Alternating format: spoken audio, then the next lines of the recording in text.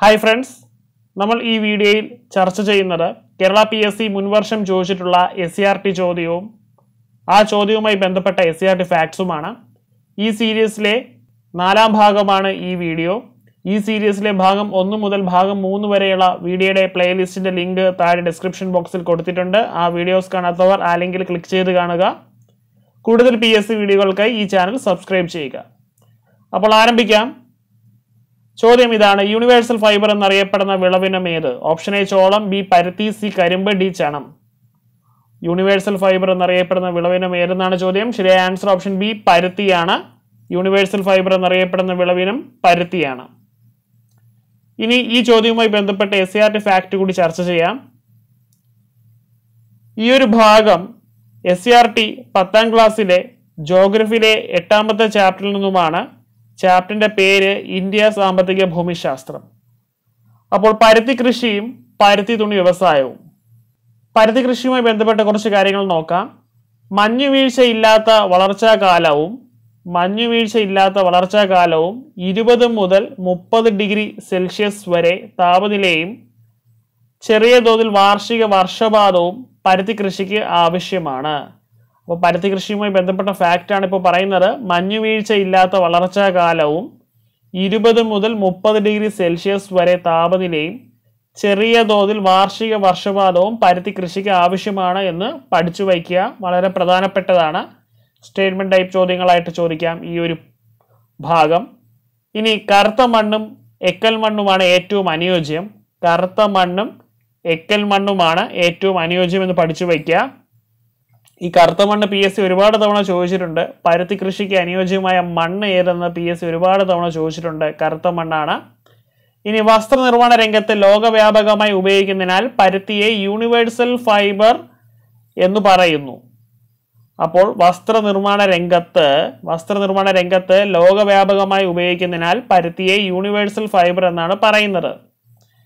ഇനി ഇന്ത്യയിലെ ഏറ്റവും വലിയ കൃഷി അധിഷ്ഠിത വ്യവസായമാണ് പരുത്തി തുണി വ്യവസായം എന്ന് പഠിച്ചു വയ്ക്കുക. ഇന്ത്യയിലെ ഏറ്റവും വലിയ കൃഷി അധിഷ്ഠിത വ്യവസായം ഏതാണ്? പരുത്തി തുണി വ്യവസായമാണ്. ഇന്ത്യയിലെ ഏറ്റവും വലിയ കൃഷി അധിഷ്ഠിത വ്യവസായമാണ് പരുത്തി തുണി വ്യവസായം എന്ന് പഠിക്കണം. ചോദിച്ചിട്ടുണ്ട്. ഇന്ത്യയിലെ ആദ്യത്തെ പരുത്തി തുണി മിൽ സ്ഥാപിതമായത് ഏത് വർഷമാണ്? ആയിരത്തി എണ്ണൂറ്റി പതിനെട്ടിലാണ് ഇന്ത്യയിലെ ആദ്യത്തെ പരുത്തി തുണി മില്ല് സ്ഥാപിതമായത്. എവിടെയാണ് സ്ഥാപിതമായത്? കൊൽക്കത്തയിലാണ് സ്ഥാപിതമായത്. കൊൽക്കത്തയിൽ സ്ഥാപിതമായി. അപ്പോൾ ഇന്ത്യയിലെ ആദ്യത്തെ പരുത്തി തുണിമില്ല് സ്ഥാപിതമായത് ആയിരത്തി എണ്ണൂറ്റി പതിനെട്ടിൽ കൊൽക്കത്തയ്ക്ക് സമീപമുള്ള ഫോർട്ട് ഗ്ലാസ്റ്ററിലാണ്. ഫോർട്ട് ഗ്ലാസ്റ്ററിലാണ് ആദ്യത്തെ പരുത്തി തുണിമില്ല് സ്ഥാപിതമായത്. എന്നാൽ വൻതോതിൽ ഉൽപാദനം ആരംഭിക്കുന്നത് എപ്പോഴാണ്? ആയിരത്തി എണ്ണൂറ്റി അൻപത്തി നാലിലാണ് എവിടെയാണ്? മുംബൈയിലാണ്. പരുത്തി തുണി മില്ല് വൻതോതിൽ ഉൽപാദനം ആരംഭിക്കുന്നത് ആയിരത്തി എണ്ണൂറ്റി അൻപത്തിനാലിൽ മുംബൈയിലാണ്.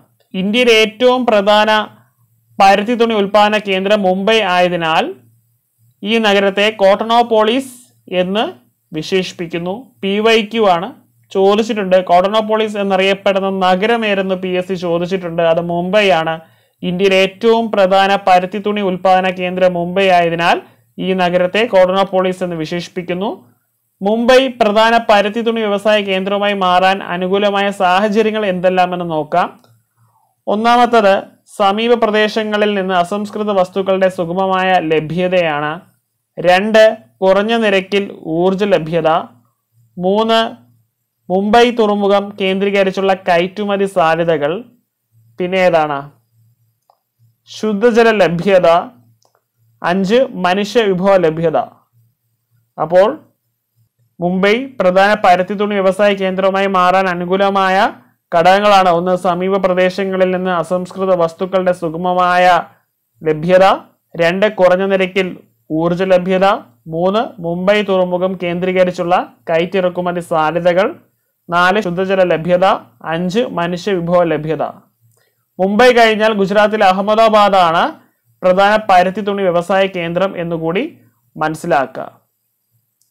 ഇവിടെ ഇന്ത്യയുടെ മാപ്പിൽ പച്ച നിറത്തിൽ കാണിച്ചിരിക്കുന്നത് പരുത്തി ഉൽപാദന മേഖലകളാണ് എന്ന് മനസ്സിലാക്കുക. ഈ മാപ്പിൽ കാണുന്ന പച്ച നിറത്തിലുള്ള പ്രദേശങ്ങളെല്ലാം പരുത്തി ഉൽപാദന മേഖലകളാണ്. ഈ മാപ്പിൽ നിങ്ങൾക്ക് കാണാൻ സാധിക്കും ഗുജറാത്ത് മഹാരാഷ്ട്ര കർണാടക സംസ്ഥാനങ്ങളിൽ കൂടുതലായി പരുത്തി ഉൽപ്പാദിപ്പിക്കുന്നു. അപ്പോൾ അത് ഒന്ന് മനസ്സിലാക്കുക. അപ്പോൾ നമ്മൾ ഈ ചോദ്യവുമായി ബന്ധപ്പെട്ട എസ് സി ആർ ടി ഫാക്റ്റാണ് ഇവിടെ ചർച്ച ചെയ്തത്. ആ ചോദ്യവുമായി ബന്ധപ്പെട്ട എല്ലാ കാര്യങ്ങളും നമ്മൾ പറഞ്ഞു. നിങ്ങൾക്ക് എല്ലാവർക്കും മനസ്സിലായി എന്ന് വിശ്വസിക്കുന്നു. കൂടുതൽ വീഡിയോകൾക്കായി ഈ ചാനൽ സബ്സ്ക്രൈബ് ചെയ്യുക. നിങ്ങൾക്ക് ഈ വീഡിയോ ഉപകാരപ്പെട്ടിട്ടുണ്ടെങ്കിൽ ദയവായി ലൈക്ക് ചെയ്യുക ഷെയർ ചെയ്യുക. നിങ്ങളുടെ അഭിപ്രായങ്ങൾ താഴെ കമന്റ് ബോക്സിൽ രേഖപ്പെടുത്തുക. താങ്ക്